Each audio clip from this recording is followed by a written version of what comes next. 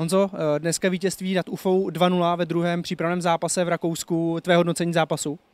Tak já myslím, že můžeme být spokojený. Až na nějakých pár okýnek vzadu, když se dostali vlastně na začátku, UFA měla jednu šanci, naštěstí neproměnila, pak si myslím, že jsme dobře kombinovali, drželi jsme docela balon.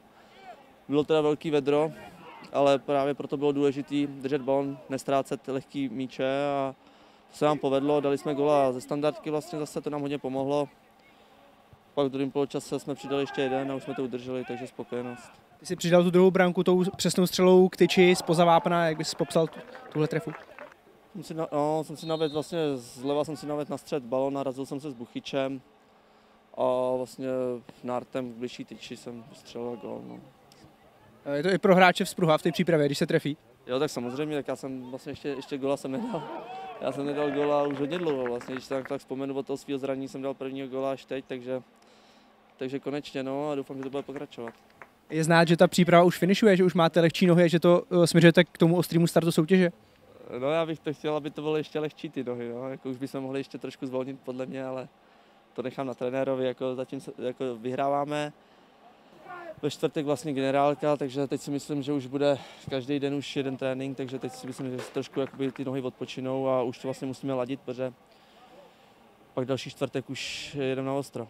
Marku, výhra 2-0 nad UFou, eh, jaká byla z pohledu trenerského štábu? tak z pohľadu klubu bola, myslím si, že dobrá pre ďalší pohodu, rozvoj na tréningu, aby, aby chalani mali ďalšiu chuť pracovať, pretože tých tréningov je dosť, už to vrcholí, tešíme sa na sezónu, ale, ale poctivo sa pripravujeme, takže sme radi, že sme zvíťazili nad, nad e, ruským súperom a, a zajtra je nový deň a tešíme sa na ďalšiu prácu. Vy jste tu zátěž ještě rozložili eh, vlastně do obou poločasů nastoupení Riánsky, kromě dvou hráčů. Je to pořád ten cíl, aby ty hráči měli stejný rozložení té zátěže?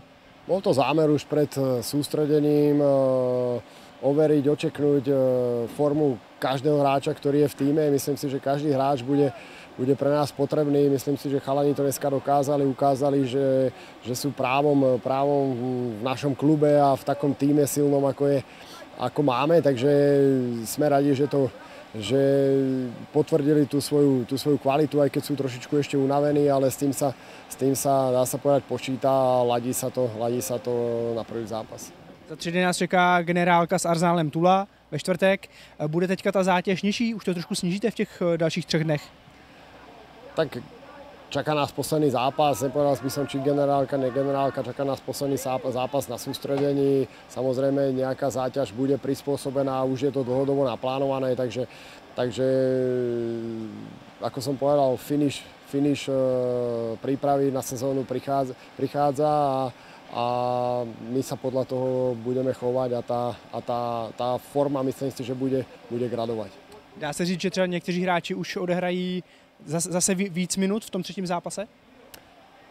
Áno, niektorí hráči odohrajú viac minút, niektorí odohrajú menej. Zase uvidíme, zhodnotíme si, zhodnotíme si tento zápas a, a pôjdeme za 3 dní, myslím, na, na, ďalšieho, na ďalšieho supera. Ale, ale ako hovorím, tie zápasy na sústredení sú, majú nejaký zmysel, ale, ale smeruje to všetko k prvému zápasu uh, v európskej súťaži a, a na ten sa už už tešíme. Je to cítiť aj, aj medzi hráčmi, aj medzi, aj medzi nami v kolektíve, že, že už, už sa na to tešíme.